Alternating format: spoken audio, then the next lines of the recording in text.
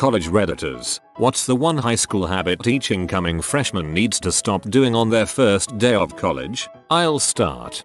Your life isn't over if you walk into class late. Just calmly go in and take a seat. You'll be fine. On the other hand, your life might be over if you wake up 50 minutes late for a lab or exam. One of the absolute worst feelings in the world for me, knowing I really really needed to be there an hour ago and I fricked up the alarm ignored it whatever. Yes, IT will be on the test. After a test, you don't have to stick around. Pack your stuff up and leave quietly. If you're struggling, don't wait to get help. Seriously, if your school is halfway decent, there are is at least one other resource outside of your professor that you can consult for tutoring. You will regret letting your pride and or laziness get in the way of passing a class. Finally, if professors offer to read rough drafts of papers, send take them a rough draft. Not only will you get suggestions tailored to your professor's grading tendencies, but your professor is also aware that they told you your paper is fine except for, so, if they said that one paragraph looked fine and then realizes later it should have expanded on some detail, they will probably be more lenient. You sought help. They missed it. Oh, well. Besides, you'll become a much better writer hearing suggestions from multiple sources. My essay writing has improved significantly because of my professor's input. Making up excuses to a professor if you miss the due date for an assignment. It isn't that they aren't listening, it's that they simply will not care. Stop being so embarrassed when your family phones you comes over. They probably live very far away and came here to see you. Show them some love. This and hug them when they leave, even if you're in front of a bunch of people. No one will actually look at you and think you're a loser for hugging your parents. Grilling everyone like you are the toughest kid around. Going off this, acting like you're the coolest kid around is extremely annoying. No one cares about how much you drank last night. If it's that impressive people will brag for you. My pet peeve freshman year was when kids would regularly swear when addressing professors because we're all adults now. My sister told me a kid in one of her classes swore while answering a question. The professor asked him to watch his language and the student replied freedom of speech. N. Yes, the prof was black, and he was not happy. Go look at the college freshman meme page. Don't do any of that. TL. DR. Don't die. Just because you miss one class, doesn't mean you have to miss all your classes that day.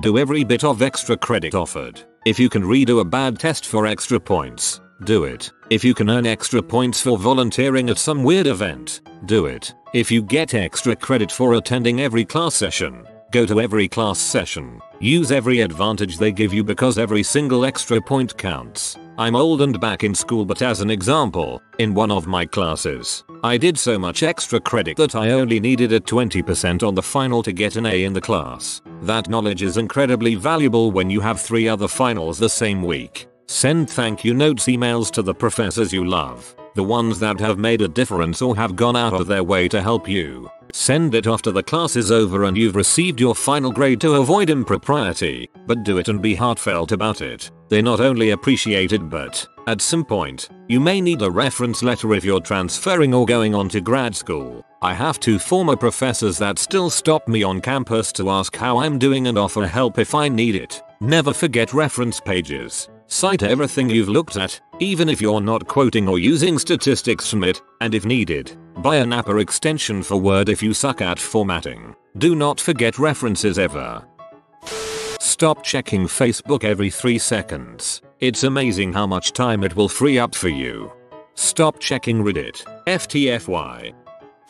They need to shut the frick up talking to each other during class. I paid to come to the class and I want to learn not hear about your adult escapades or drama. Spare us all and skip class. I hate this so much. There are always a few people chatting, thinking they are being so quiet and discreet because the prof doesn't hear them, and all the while everyone situated nearby can hear every detail of their inane chatter until you just wish Flanders was dead. Maybe not a habit, but a lesson, and I'm sorry if this is a bit negative or heartbreaking. There will be classes that, no matter how hard you try, you will be terrible with. I enrolled as an aerospace major because I wanted to change the world, despite being more of a history English person. I by some miracle, passed my second calculus class with a D. I had absolutely no hope with my third calculus class. I had a tutor. I went to study sessions. I went to office hours. I was housed with engineers. But at that point, nothing could teach me how to get from point A to point B. It was basically magic. With some loose logic here and there, I failed that class, despite all my effort. I'm not saying that you will also fail, but that there will be classes that will be nearly impossible to ace. It's very difficult to get all round A's. But maybe that's just my engineering school. Here the engineering average GPA is just over 2.0 I believe. And, no exaggeration, the average math test score is 50% or below, so curving is completely necessary. And always check the class average before you panic, and wait for the curve. I got a 23 stroke 100 on my Calc II exam once. The class average was a 10 stroke 100. My 23% became an A. Giving a frick what your peers think about you, and having opinions about your peers based on trivial things like whether or not they wear their varsity jacket. But stop asking random people for a piece of gum when they take it out of their bag. Get your own gum. That last part really hits home for me. From here on out, save yourself some trouble and stop acting like a middle school jackass. Amen to that. I started in a freshman dorm. People crap in the showers 6 times in my first semester alone. Telling people what you got on SAT Act AP with Aviar. No one will care. Asking people what they got on SAT Act AP with Aviar. FTFY. You're going to class, not the club. Alternatively, to those same students about 2 months later, you're going to class, not to bed. As someone who grades a lot of papers essays, please let me urge you, do not, I repeat do not fall into the crowd that sets up teams for classes. I see this all the time, where people say okay I will go Monday, you go Wednesday etc and share notes. You are paying to go to class, so go to class. There are a lot of people who do this and get away with it, but you will very likely end up hurting yourself in the long run. You might hurt yourself in the way of not doing as well on a test because your friend didn't take the best notes, in the way of not preparing in a prerequisite class for a later class down the road, or you may be violating the school's academic integrity code. I just want to take a quick second to address that last one because it's very important and I think a lot of the people who screw up simply didn't take it seriously. Most universities have a zero tolerance policy for cheating. You may think you are getting away with it, but I want to warn you, teachers professors do not need to tell you when you are caught. You can go the whole semester thinking you are safe, then suddenly get a nasty letter informing you that you need to go see the Academic Affairs Council. At that point, you are almost certainly hosed, and penalties are usually as severe as possible to use as an example. Please do not underestimate this, it's a lot more serious than high school. Furthermore, if you are farther along in your studies, you can permanently blacklist yourself in the world of academia, potentially losing job opportunities or the ability to go to grad school, which is becoming increasingly necessary. Not giving a crap. I didn't give a crap throughout high school and graduated with a 1 something or other. I had no intention of going to college. Spent 10 years in the workforce. Made nothing of myself. Job hopped every year. The last job I had was the longest. I worked there for 2 years. I was up for a promotion that was then given to a guy 6 months my junior because he had a degree. At that point, I quit my job and enrolled in community college. The university wouldn't take me. I have recently transferred to said university and am currently maintaining a 3.92 GPA. All because I decided to finally give a crap. The non-traditional students are always the most prepared, smartest students in my classes. Probably because they are there because they want to be, not because they think they have to. If you are sick do not bring a note from your parents. 1. Be ready to change your major if you need to. What you actually do in a given field of study is often radically different than what you'd imagine. Had a friend go into physics, spent the last two years of his degree programming simulations. Switch early enough and you won't have too many headaches. 2. You can sneak into other classes. No one is going to stop or even notice you. Do this a lot and you'll eventually be able to talk about just about anything. 3. Use the library. Steal from databases. Outside of college, knowledge is expensive and libraries are sorely underfunded. 4. Most clubs are kind of bulls. Attend anyway. Catch a couple club members outside of the meetings. Get a couple drinks in them. And you'll probably get something closer to what you were looking for. 5. Even if you're living off your folks, if you can swing a part-time job, get one. Having a bit of scratch makes having a social life a lot easier. And it's going to stay that way after you graduate, regardless of how cozy you are. Having a social life makes having an intellectual professional life a lot easier. 2. The right friends can do wonders for your academic performance. Last year a guy walked into our class and had to take a spot in the front because it was all there was left, because he was late. He boots his laptop and starts browsing FB. Little later on he clearly looks bored and starts to watch P. Was a really strange class. Try not to F up your grades your first year or you spend the next 3 plus trying to make up for it. Also, get involved but don't overdo it. Not everyone can be involved in and the president of every organization on campus. But try something. Don't just go to class and then derp around in your room. Buy into the whole college experience please. Don't shout out snide comments during class trying to get people to laugh. We don't care if that's what she said we just want to learn. Don't wear those stupid lanyards with the school name around your neck. Yes, I wish someone had told me this my freshman year. Looking back, I feel like such a dork. No more raw dogging it, wear a condom.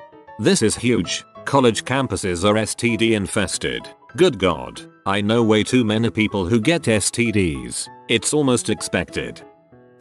Putting your phone on vibrate is not the same as putting your phone on silent. Everyone can hear your phone buzz. Everyone can also see you texting during lecture. Hiding your phone under your desk fools no one. And on that note, no one gives a frick if you shoot a quick text out as long as you're not sitting in the first few rows. Don't be the kid who talks about being gifted skipping a grade your average in high school. If you go to a good school, everyone else is just as smart. If you go to an okay school, no one gives two shoots about that. You definitely need to study. If you had it easy in high school, it likely will not be that way in college. This is heavily dependent on field of study. I busted my butt a lot more in high school than I do now. I used to work university admissions, so I have had a good deal of interaction with high schoolers and undergrads. You are paying us to go to school. Never forget this. It is a business transaction and we aren't doing you any favors. If you think we owe you something, demand it. So many students come into offices with their heads hung low like they're getting in trouble with their parents. Relax, you're an adult. If you act like one, you'll get treated like one. If you don't understand something in your classes, ask, for God's sake, ask. People might give you crap for being that guy, but forget them. You are paying for this. Learn something. Don't just show up. You can come to class late. The professor is not going to judge you in a class of 400. As someone who has taught large classes, 2. I'd rather you show up late than not at all. If you are never in class, I will notice and that will impact you more than if you make an effort, even if that means coming in 20 minutes late. It will be on the test. If you're asking about the nature of a test the week of the test, you will be pee off your professor.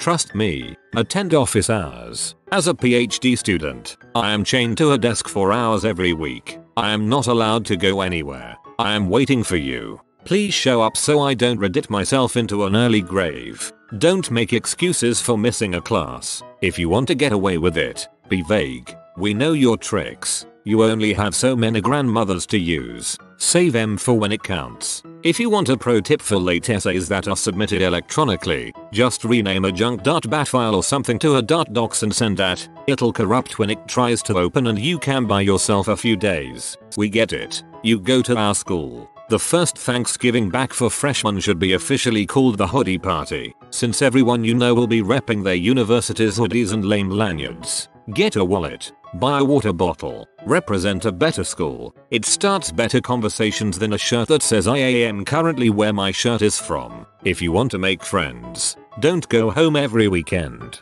Don't use any icebreakers. Just relax. Everyone is freaking out just like you are. Force yourself to talk to people, though. Go to a club recruitment. Join something. Even if you don't stick with it, it'll make you some friends right away. Put your phone on silent, not vibrate. Stop masturbating in class, even if you are a star athlete. Steve Holt. A couple things from both a student and professor's perspective. First, if you are given a handout that does not look like it was photocopied out of a book, keep the dang thing. I spend a lot of time tailoring some handouts to subtly tell a class how to fix a problem I see many of them making without actively calling them out on it. Nothing is more frustrating than when I refer back to it later in the semester and get nothing but blank stares because you didn't even read the dang thing when we went through it together as a class. Second, yes, I know you are very smart and that high school was easy for you and that you don't really need to study to pass tests or read books to write a decent paper. I was the same way. However, try to keep in mind that you are not in these classes to survive them I'm looking at you lit history majors. You are in them to learn something. You will learn more if you actually do the reading and take the time to do good work. Third, visit your goddamn professors. We are forced to keep office hours for your convenience. Believe me, I would rather be catching up on TV shows and surfing Reddit at home or, God forbid, doing actual research. But I am stuck in my little office with a leaky window and no heat in hopes that someone will come visit me. There is a direct correlation between students that come see me for help and students that do well in my class. I don't even care if you come in to talk about class. I'm a fairly well read guy, and I'm fairly up to date on popular culture. So come talk to me about movies or music or your physics class. That crap fascinates me, but I've spent the better part of a decade studying very different things. We could both learn something, and let me tell you, it is way harder to grade a paper harshly when I have an emotional attachment to the writer. Fourth, harkening back to number 1, keep your dang syllabus. I can't count the number of times the due dates or course expectations that are included in them have saved my butt when it gets down to crunch time in the semester. Finally, know when it is time to study and when it is time to party. In my undergrad I had a friend who was up for anything at any time. He couldn't say no. If I had a free Tuesday night and wanted to get bombed and break out the bong, he was up for it no matter if he had a test the next day or not. However, if he came to my room on a night I was doing work and asked if I wanted to smoke until I saw everything in primary colors I had the self-discipline to tell him to frick right off. It didn't hurt our friendship any, and one of us actually made it through that year with good grades. I'll let you figure out which one. Do not wear your Letterman jacket. Do not bring up your standing, awards, honors, achievements, unless you are asked. I hated when I was in history and heard in HS I was in AP classes and I thought, if you know the answer don't showboat your past. Don't see your professors as teachers, and in no way do I mean they're not those who teach, but I mean the fact that, at least for me and many I know, throughout your school career so far, the teachers have been viewed as these much older, almost untouchable people who have this huge status over you. Once I got into college however, every professor I've had has been very approachable about everything. It feels like talking to an actual human being versus someone who could ruin your life by a single word or sentence. TL. DR. Don't be afraid to talk to your professors like a normal person. Do not ever tell someone you're sophomore by hours. People don't want to know what the university classifies you as. They want to know how long you've been at college. You're not the big man on campus your first year, although with all the new freedom and change of lifestyle you'll feel like the coolest guy to walk the planet. Remember you're still a small fish in a big sea and just because you have this new freedom you can't get a big head. Stop farting into Ziploc bags and hiding them in people's backpacks. Not cool. If you enroll in a Spanish class, form a study group. Putting on makeup in the middle of class, no one cares anymore. Some people just drag themselves out of bed wearing a t-shirt and sweatpants. And, as a professor, I can tell you that this behavior is rude. Most of us will ask you to do this on your own time. Do not be afraid to get a tutor. Lose your pride when it comes to learning. If you do not know something, teach it to yourself or get some help. Some high schools leave you woefully unprepared to handle certain classes. There are usually many alternative learning supplements that can help you on your way. Go to every class even if there is no attendance taken. You would be amazed how much knowledge you will pick up just by being there. If you have a hard time paying attention, or are finding a class too hard, sit in the front. This will force your attention span to the material at hand and help me get some more difficult classes. Make a friend in your major that can share your schedule. Having a real friend outside of class can help a bunch if you have to miss something or need help. Always easier to ask someone you know. Go to the gym 3 times a week. It is free and strong body can help your mind and your stress levels. My father the contractor used to tell me, you wouldn't build a mansion on a poor foundation would you? The second you get sick, go to the doctor, eat well, do not get in the habit of eating crappy foods. If you have a choice between a burger and fries and a turkey sandwich and a salad, go with the later. You will feel better, have better energy and be clearer in mind. Learn to be smart with your budget. Making a sandwich and bringing it with you for lunch is a great way to save money, which you can later spend on fun things. Learning to deal with a smaller fixed income will help you be clever and crafty in your spending habits. It is almost always cheaper to buy groceries than it is to eat out for every meal. It is much healthier for you also. Do your sock and underwear laundry as priority. If you have communal showers, get some good flip flops and a shower caddy that has good drainage. Try to always be happy. Happiness is the key to success in life. Always be respectful, even when you disagree with something, especially to a professor. A professor is not always the pinnacle of knowledge. If you want to contend something with the professor, you can always do so in their office. Taking up precious class time with your tidbit of knowledge you learned on Reddit can be a waste of time for everyone else in your class. However, do not be afraid to question everything. As a rising college freshman, this thread will potentially prevent me from looking like a total dumbass two week from now. No, you will. You have been visited by the cat doctor comment cat health to get good health and do not get sick. Thanks for watching. If you are new to the channel, you can subscribe. I publish new videos every day. Until then, check another video, or don't. Either way, have a great day you magnificent people.